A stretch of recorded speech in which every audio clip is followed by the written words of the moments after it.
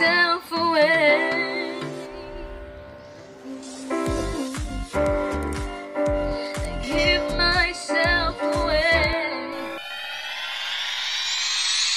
We can have wonderful services, amazing music and dancing and shouting, and, but if you don't have the Holy Spirit, it, it's, it's pointless.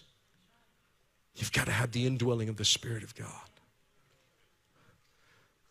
2019, I took a team, a young, young, a team of young people to Sri Lanka for a mission trip, and uh, we were with Brother Prince Matthias. He's the general superintendent of the work in, in Sri Lanka.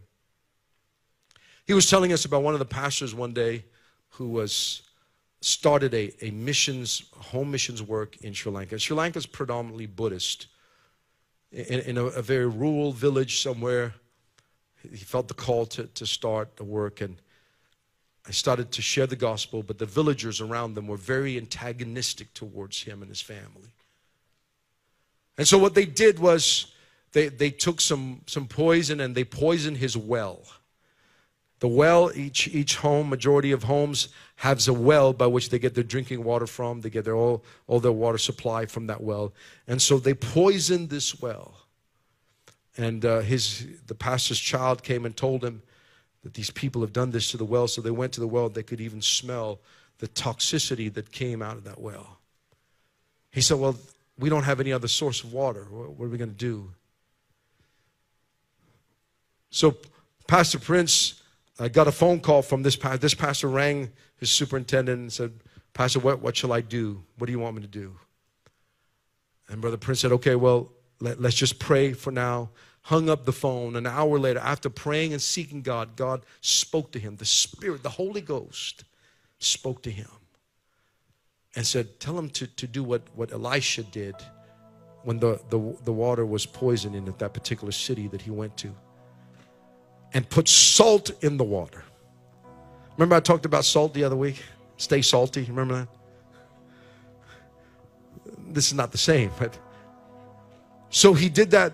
They, they took salt, threw it in the water. They, they, they linked hands, his whole family, the pastor and his family linked hands around the well, began to pray. And as they prayed, they believed by faith, took that water, and they drank, and nothing happened. The villagers were so amazed. They were looking and they were watching from the fence. There was a fence in their property and they were looking to see him, to see them drop dead from the poison of the water. Nothing happened. They carried on about their lives. But, but here, here's what happened. The wells of the other neighbors and villagers suddenly became poisoned. Suddenly it was toxic that they couldn't drink it. The only well in that village that was not polluted was the pastor's, the Christian's well. And eventually, despite all of their pride and resentment towards this Christian family, the entire village would line up and come to that house to drink from the well of this pastor. And he welcomed them. And to this day, there is an apostolic church in that village in rural Sri Lanka. Hallelujah. I'm telling you, the Holy Ghost is with us. Whatever problem, whatever trial you got to face, whatever difficulty you just you just let the spirit of god move. Give him some room give him space. Let god work in your life. He'll speak to you in the wee hours of the night in your dreams in the morning when you're at work.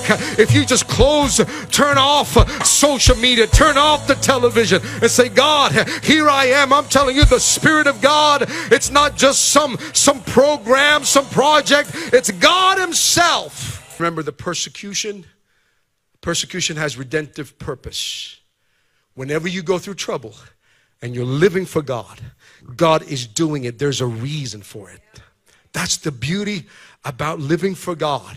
That even in your darkest days, even in the hardest times of life, there is something to be gained from the troubles that we face as believers.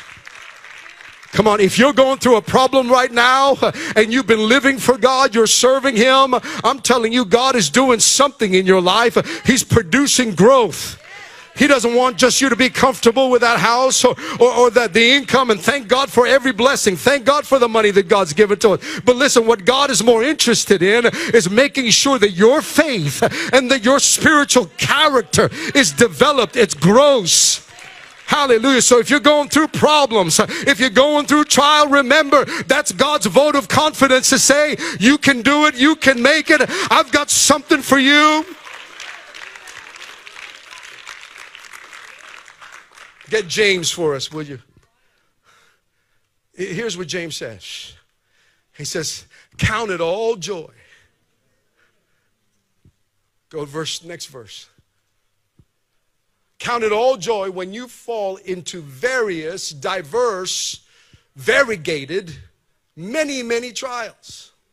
Not just trials from family, not just trials from work, but all kinds of trials. He says, You got to count it as joy. We got to be happy. He said, Well, I can't smile right now because I'm having a hard time. You know, this husband of mine, boy, he's, he's getting on my last nerves. But he said, Count it all joy.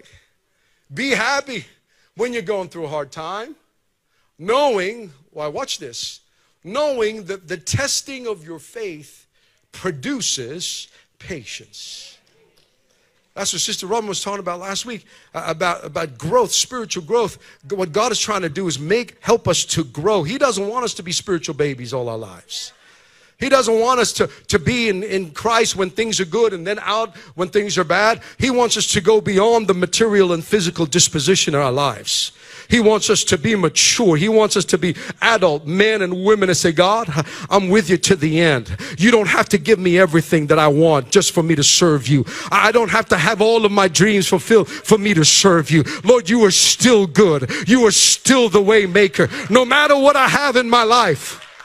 Will you also walk away every time you go through problems? Is Jesus asking, Are you going to walk away as well? You, we better turn around and say, Lord, no, where can I go? You alone have the words of eternal life. Where am I going to go? Go back to the clubs? Go back to the pubs? Go back to the. Where, where am I going to go? I'll go, go make money and, and so what? I have a nice house and then when I'm dead, when I'm about to die, so what? No, you alone have the words of eternal life. Blind Bartimaeus was in town. He heard that Jesus of Nazareth was coming by. He had been blind his whole life. He cried out, Jesus, thou son of David, have mercy on me. Jesus, son of David, have mercy upon me. Jesus, thou son of David. And the crowd told him to be quiet, and the crowds told him to shut up. But what they didn't understand was that Bartimaeus had a need, and he knew that there was a God walking by who would be touched with the feeling of this infirmity. And so he cried all the louder. I'm reaching for people here. Your suit's on and your shirt's ironed but your life's a mess. He's looking for you to cry, have mercy on me. And if you'll cry, have mercy on me, Jesus will meet you. I don't care if you're going through your third divorce. I don't care if you got cancer screening tomorrow. I don't care if your mental health is in shambles. If you will cry out to Jesus, He's going to move in your life in the next few moments. Here's what we're going to do. If you are overwhelmed, broken, and in need of healing and a fresh touch from the Lord, I invite you to come to this altar right now and we are going to pray a prayer of faith. And God is going to heal you, and God is going to touch you, but you're going to have to get vulnerable. That's it. Come. Don't be ashamed. Saying people, people may look at me. That's okay. Who cares? If they look at you, that's fine. They'll get to have a front row seat to your healing. That's about to happen in the next few moments. Jesus is about to have mercy on you. God is not cold towards you. God is not apathetic towards you. God understands you. He is touched by your feelings. He is touched by your infirmities. And also by His power and authority, He is here. I want you to lift your hands to God right now. Don't bury don't bury your face in the ground. I know we if you're kneeling that's fine. But I want you to lift your hands up to heaven. This is not the time for you to hide who you are. God wants to see it because he's here to help it. When I say in the name of Jesus, be healed, I don't know what all the needs are and I can't pray for everybody. But when I do, the presence of Jesus Christ is going to sweep over this room. And the authority and power that is in heaven is going to come into your body, going to come into your mind, and you're going to be infused with supernatural strength because you have a God who's got one hand on all power and authority and also has his hand on your heart and hand on your life, and he is in the middle of your mess. So if you're ready to receive from the Lord, I want you to lift your hands to heaven. And when I say in the name of Jesus, be healed, this band's going to begin to play and they're going to begin to sing with all of their might. And you're going to shout unto God. And we're going to see miracles happen in this room in the next few seconds. Are you ready to receive from the Lord right now? Are you ready to receive from the Lord right now?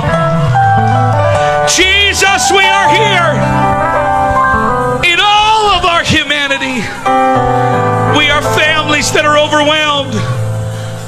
Young adults that don't know what life and our future has for us. We are people, Lord, with brokenness and frailty, and yes, even some sin. And God, we are here before you and we hide no more. We play no religious games. We, like blind Bartimaeus, are here in your presence saying, Jesus, have mercy on me. And Lord, I know that you are moved by sincerity. So I pray right now, by the authority of the Word of God, by the blood that was shed on Calvary, and by the power of the name of Jesus, I speak healing into your mind, into your body, into your relationships. Right